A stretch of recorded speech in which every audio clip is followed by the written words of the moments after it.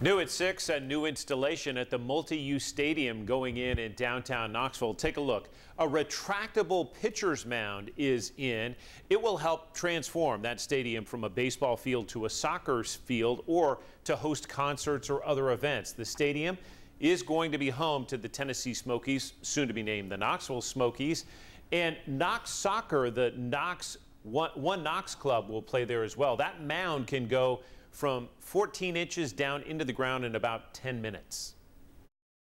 And that will allow the pitcher's mound to come down and, and kind of be flush with the adjacent ground. And then uh, as part of a conversion, grass can be added with uh, some buffers and stuff to fill the space that's around the mound, as well as uh, other facilitations that can happen depending on what the event is. Crews plan to install the playing field this fall, and we'll see the unique Tennessee-shaped scoreboard go up very soon.